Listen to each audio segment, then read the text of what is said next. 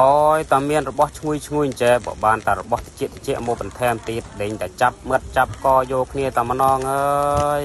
បាទជំរាបសួរពុកម៉ែបងប្អូនអស់គ្នាថ្ងៃនេះថាបានពោះជ្រូកមកក៏គិតតែធ្វើម៉េចបានចងាញ់ចេះស្នេះក៏សម្រេចចិត្តថាធ្វើការអាំងតោះជាដំបូងគឺថាយើងយកពោះជ្រូកនោះមកលាងសម្អាតនឹងអំបិលគឺថាយើងដាក់អំបិលមកក្តាប់មកចាក់ទឹកលាងចម្រៀស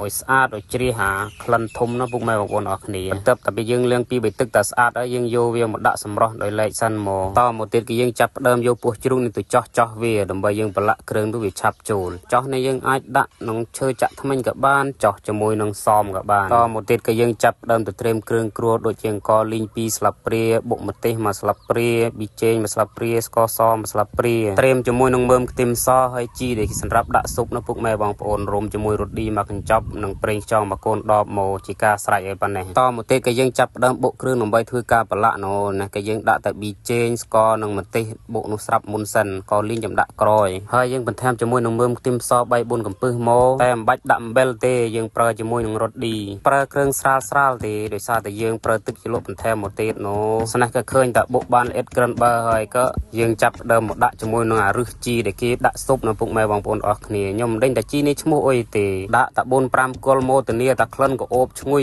ក៏អូបយកគ្នាតែម្ដងក្រិនតែដាក់មកក៏បុកផាច់ផាច់មកក៏ក្លិនវាក៏គួរឲ្យចាប់អារម្មណ៍របស់ពុកម៉ែបងប្អូនពេលតែបុករួចហើយក៏បាដាក់ជាមួយនឹងពោះជ្រូកនោះដើម្បីតែត្រៀមធ្វើការប្រឡាក់ហើយយើងក៏បន្ថែមជាមួយនឹងកលីង2ស្លាបព្រាមកកុំដាក់ច្រើនណាប្រយ័ត្នវាអាំងទួឆាប់ខ្លោចដាក់តាំងកលីងរួចក៏ចាប់ដើមតែរយរត់ឌីប្រុយប្រុយមកកុំប្រើច្រើនយើងប្រើរសជាតិស្រាលតមកទៀតក៏ចាប់ដើមតែចាក់ជាមួយនឹងប្រេងខ្យងសម្រាប់ប្រេងខ្យងយើងប្រើរាំងសំណុំក្រិនដែលមក ដាក់តាមចំណងចំណូលចិត្តដែលបងប្អូនចង់បានណាសម្រាប់ខ្ញុំដាក់តាមរៀងមកសំណុំក្រិននេះហើយបន្ទាប់តែពីដាក់គ្រឿងគ្រួអស់ហើយក៏យើងចាប់ផ្ដើមធ្វើការប្រឡាក់នោះយើងធ្វើការពាក់ស្រោមដៃបើមិនមានស្រោមដៃទេយើងដាក់ថងដៃមួយដាក់ទៅចងឲ្យតែជាប់មកជាមួយផ្សារដៃណាអ្នកក៏ធ្វើការប្រឡាក់វាចូលជាតិចូលគ្រឿងជាមួយគ្នាបានល្អណាថាបើបងប្អូនចង់ធ្វើតាមដាក់គ្រឿងតាមតែខ្ញុំមកដេញតែចងាញ់ហើយបន្ទាប់តែពីប្រឡាក់រួចយើងទុកវាបាន4 5នាទីសិនណាពុកម៉ែបងប្អូនអរគ្នាដើម្បីវាចូលជាតិចូលគ្រឿងជាមួយគ្នាបានល្អតមកទៀតក៏យើងចាប់ផ្ដើមទៅបង្កាត់ខ្ជូងកុំឲ្យខាតពេលយូរយើងបង្កាត់ភ្លើងទុកជាមុនឲ្យហើយកាត់តែភ្លើងរួចក៏យើងទៅត្រៀមគ្រឿងគ្រួធ្វើទឹកជ្រលក់នោះឲ្យទេមានដូចជាម្ទេសទុំស្រស់មើមខ្ទឹមស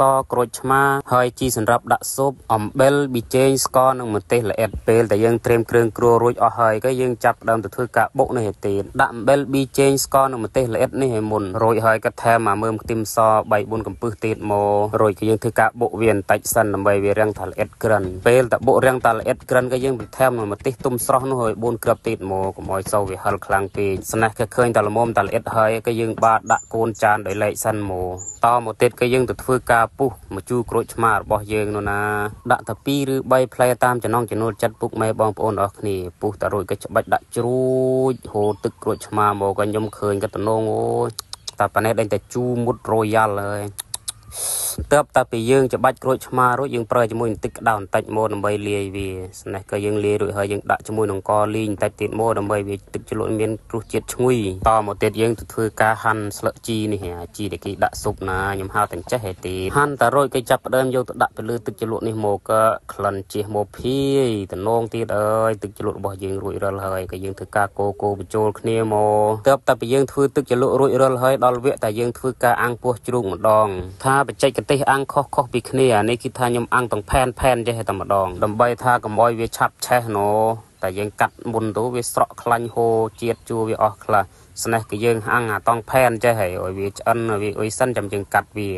ណែក៏មើលទៅក៏ដូចផ្កាចំពុកម៉ែបងប្អូនអរគ្នាល្អមើលដែលមើលក្លិនក៏ឈ្ងុយបណ្ដើបណ្ដើហើយអារយៈពេលកំពុងអាំងមិនហ៊ានដើរទៅណាទេខ្លាចវាឆេះវាអុយក៏យើងនោះប្រែវានោះយើងអាំងប្រើពេលវេលាយូរមិនឆ្អិនល្អណែក៏ពេលវេលាដែលយើងអាំងឃើញតែរែងតែក្រៀមក្រិនហើយក៏គ្រឿងវាចូលបានល្អហើយក៏យើងយកមកកាត់វាដើម្បីថាយើង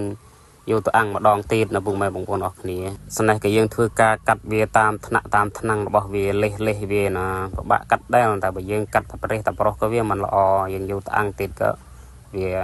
ប្រមើនៅពុកម៉ែបងប្អូនអស់គ្នាណាក៏លេសវាត្រូវតាមតង់តាមຂ្នាតរបស់វាហ្មងស្នេះក៏ឃើញតែយើងកាត់ជាងលេសរួចអស់ហើយក៏យើងចាប់ដើមយកទៅអាំងបន្តទៀតនេះហើយធ្វើមកចេះហើយរបស់ចងាញ់នៅមុនបានចងាញ់ក៏ ច្រើនវាច្រើនគ្រាក្រិនឪពុកម៉ែបងប្អូនអរគ្នាស្នេះក៏ឃើញតាពោះជ្រូកចាប់ដើមឆ្អិនបណ្ដើបណ្ដើឈ្ងុយលក់មកលើកនេះលភាយភាយតែស្ដាយណាស់មិនបានទិញបន្លែទិញសាឡាត់ទិញទៅសក់អុយមកពុកម៉ែបងប្អូនអរគ្នាបើធ្វើតាមខ្ញុំទិញបន្លែមកទំនឹបនៅដេញតែជាតិម៉ែអជាតិអើយស្នេះក៏ពេលលលាថាថាអង្គលមុំតែឆ្អិនដែលហើយក៏ទឹកមាត់ក៏ត្រឹមមិនបានទេក៏ចិត្តរបស់យើងក៏ត្រឹមមិនបានដែរក៏មានតែចាប់ដើមតែសម្រេចចិត្តតែយកមកចាប់ដាក់ចានដើម្បីធ្វើការញ៉ាំនេះឯងស្នេះក៏ឃើញតែពោះជ្រូកអាំងថាឆ្អិនហើយទឹកជ្រលក់កន្ធើរួចរាល់អស់ហើយក៏ពុកម៉ែបងប្អូនតោះចូលរួមញ៉ាំទាំងអស់គ្នាពោះជ្រូកអាំងមធ្យមទេងុំមកទឹកជ្រលក់ដាក់ទៅក៏ចាប់មាត់ចាប់កតំណងអូយ